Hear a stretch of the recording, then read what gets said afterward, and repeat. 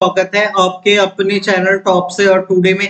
आज हम डिस्कस करने वाले इजी ट्रिप प्लानर्स लिमिटेड इसे स्टॉक में देखें तो आज के दिन 40 पैसे की गिरावट देखने को मिली और ये स्टॉक एक परसेंट के करीबन की तेज़ी दिखाता हुआ नज़र आ रहा है। हम इस वीडियो में ये डिस्कस करने वाले कि इस स्टॉक में फ्यूचर में क्या टारगेट बनते हुए नज़र आ रहे हैं और हमें स्टॉप लॉस कहाँ पे ट्रेड करके चलना चाहिए।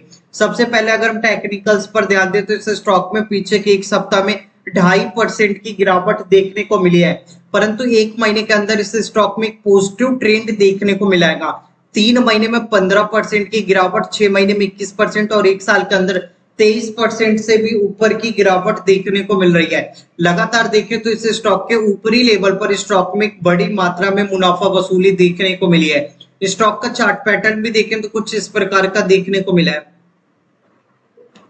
स्टॉक का देखें चार्ट पैटर्न तो स्टॉक में एक हाई बॉटम था around seventy rupees seventy rupees के स्टॉक में एक हाई बना, ऊपरी लेवल पर स्टॉक में एक सेलिंग प्रेशर देखने को मिल रहा है।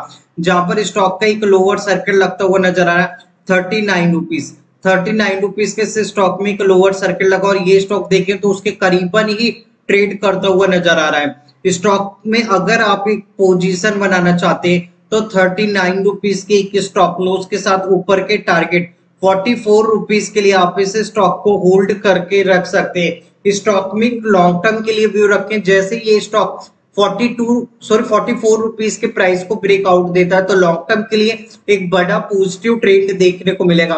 परंतु अगर ये स्टॉक 39 रुपीस से और ज़्यादा गिरावट दिखाता है तो इस स्टॉक में और बड़ी बिकवाली देखने को मिल सकती है। इसलिए एक स्टॉक लॉस के साथ ही पोजीशन बनाए और लॉन्ग टर्म का व्यू रखे। वहाँ पर एक अच्छा रिटर्न बनता हुआ नज़र आएगा।